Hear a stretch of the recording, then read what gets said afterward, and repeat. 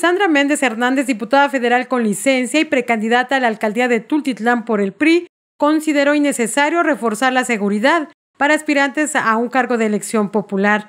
Tras la muerte de su compañero de bancada y aspirante a la presidencia municipal de Izcali, Francisco Rojas, a causa de un atentado, Méndez Hernández consideró que es un hecho aislado.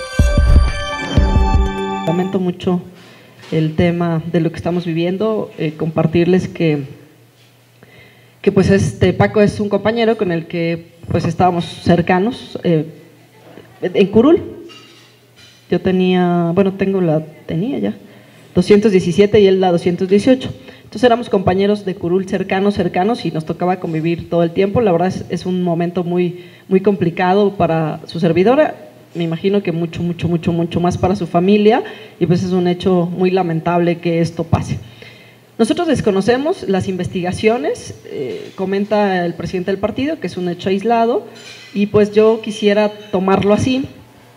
Y el tema de la seguridad, pues no podemos basarla porque esto pase, ¿no? La verdad es que yo seguiré igual, seguiré como hasta ahorita hemos estado y pues les pedimos a la autoridad, sabemos que la autoridad del Estado de México es una autoridad muy profesional y hará las investigaciones correspondientes.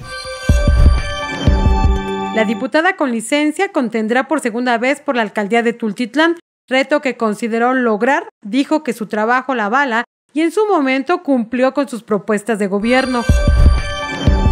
Tu servidora hizo un planteamiento en campaña y cumplimos con todo.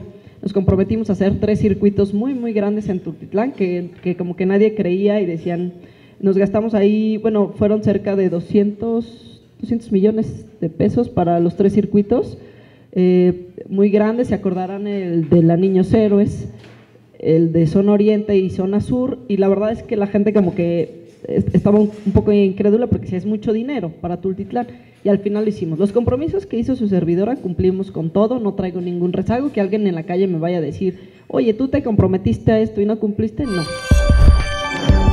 Reconoció que hay mucho por hacer para combatir los rezagos que enfrentan habitantes de este municipio, pero confío que esta vez existe madurez y mayor capacidad para responder a los vecinos de Tultitlán. Para Reporte Noticias, Mirna Yescas Bustamante.